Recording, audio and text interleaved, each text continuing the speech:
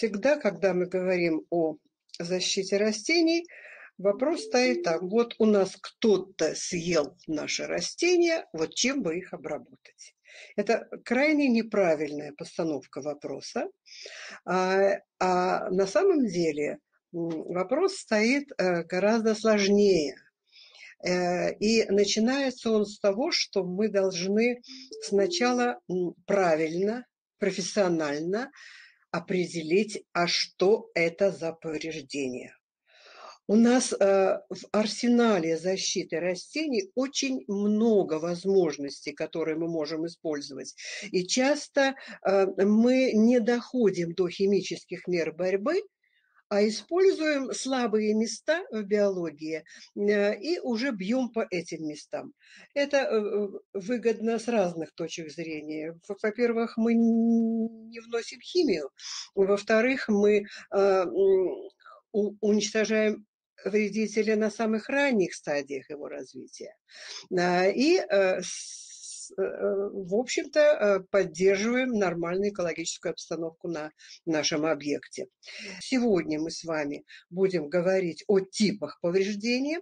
В следующий раз мы будем говорить о вредителях, которые наносят эти повреждения и особенности их биологии. И на последнем занятии мы, мы говорим о стратегии и тактике борьбы, э, то есть вот не просто перечислять те химические биологические препараты, которые вы встретите в магазинах, справочниках и так далее, а мы посмотрим стратегию и тактику этой борьбы. То есть как нам вот из этой системы выбрать наименее часто используемые. То есть я не буду говорить о общеизвестных, а буду говорить, останавливаться на методах борьбы, а, о которых мало еще кто знает, но которые основаны на особенностях биологии того или иного вида. Вот. А, насекомые, на наше счастье, они стереотипны в своем поведении. То есть они э, делают только такое повреждение и больше никакого.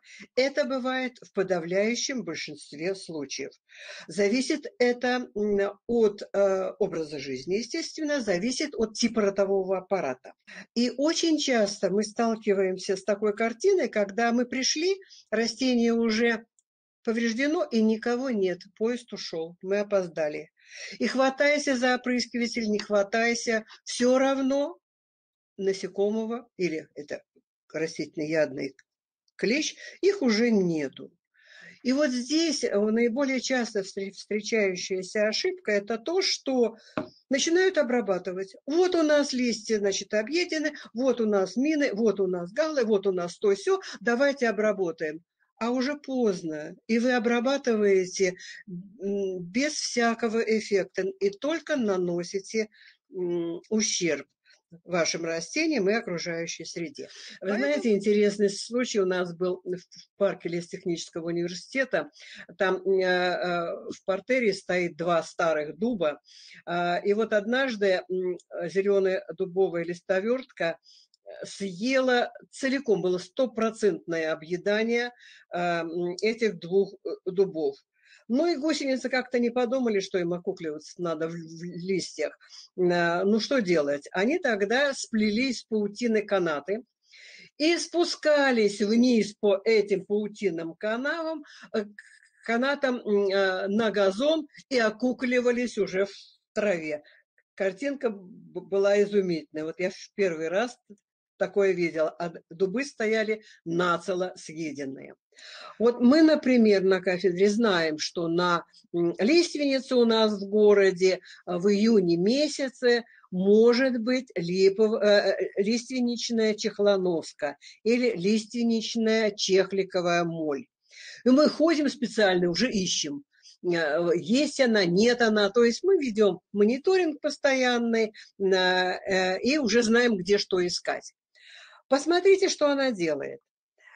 А, очень маленькая а, гусеничка, которая... Почему она называется чехликовая? Вот ее чехлик, вот он здесь. Махонький. Гусеничка очень маленькая. Бабочка совсем крохотная. Что она делает? Она идет по хвоинке, доходит примерно вот сюда.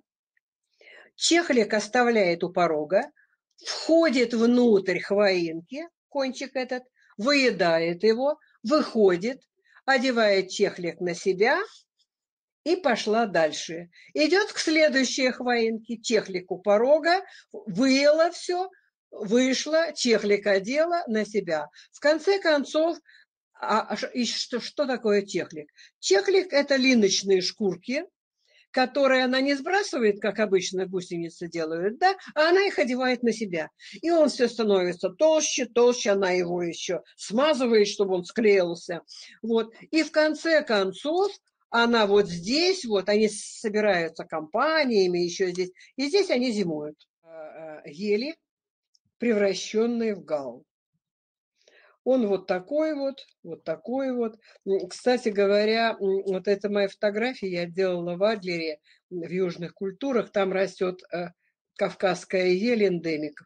И именно вот на ней я обнаружила огромное количество этих галлов, причем они сначала были яркие, красивые, потом они, когда открываются и, э, тли улетают, а, они становятся черные, в общем-то, и, и, и некрасивые. И вот э, такой анекдотичный случай у меня там был, когда я стояла около этой елки, фотографировалась, собирала эти галлы, подошел экскурсовод, который ну, не, не очень сведущий был, так сказать, в дендрологии, видимо, с группой э, туристов, э, смотрит на эти шикарные галлы, э, которых много-много-много было в нижней части крона, елка вообще была здоровая, и говорит, вот это кавказская ель эндемик, посмотрите, какие у нее красивые шишки. Я говорю, простите, но это не шишки. Как не шишки? Посмотрите, вот ну, явно же шишки. Не, я говорю, нет, это повреждение. Так что а, вот э, очень важно знать, что это не шишки, а там в каждой сидит личиночка. Их может быть там очень-очень много. Да, и у вас, я говорю, этот определитель у вас будет очень хороший определитель. У нас раньше их все время воровали после занятия студенты. А, вот. Но сейчас вот отсканировали его, э, и все, все всегда... Это занятие студенты очень любят, потому что, ой, как интересно. Вот, вот. Причем даже по гербариям они определяют с удовольствием. Вот. А на живом э, материале, когда можно вскрыть, повертеть, э, в общем-то. Я Думаю, вам будет интересно этим заниматься. Так, мы будем рассматривать уже видовой состав, особенности э, отдельных видов. Конечно, э, видовой состав огромный, я вам дам э, какие-то общие такие наработки. Вот. И скажу, как вообще ориентироваться для того, чтобы правильно выбрать время, возраст вредителя, фазу и правильно назначить борьбу. А в последней э, вебинаре мы уже будем разбираться, как э, химию оставить на закуску, на самое-самое последнее место ее, ее отправить. Все, спасибо за внимание.